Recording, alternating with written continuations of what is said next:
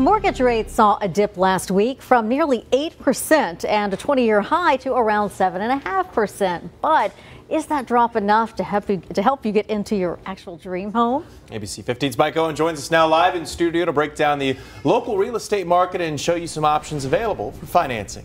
Mike? A local real estate agent tells me winter is the best time to purchase a home here because there are fewer buyers. She says many are scared away by the current interest rate, but it's important to know that there are a lot of financing options out there to get you into a home lots of great opportunities for buyers.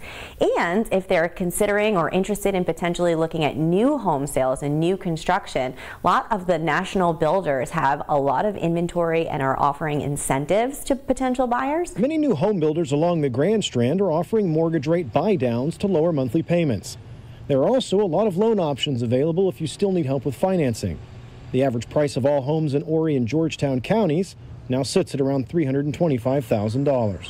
I have seen a lot of really creative loan products, uh, some private equity products from smaller local banks.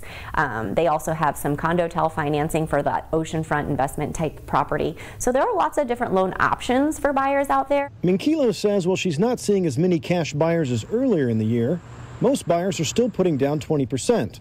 But if you don't have that much, there are still ways to buy a home. In 2022, nearly 19,000 uh, South Carolina households were able to access home ownership with less than 20% down payment because of private mortgage insurance. Buyers that can't afford 20% down are typically at a greater risk of default.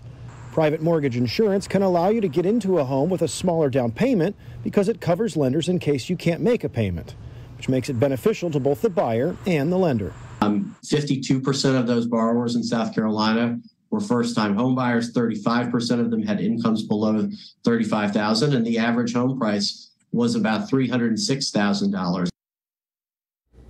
Now, I ran all the numbers for you on what it would cost per month if you bought a home at $325,000 with a 7.5% mortgage rate, including property taxes and your homeowner's insurance. You're looking at just north of $2,000 per month. Renting a three bedroom, two bath house in the Carolina Forest will run you about the same.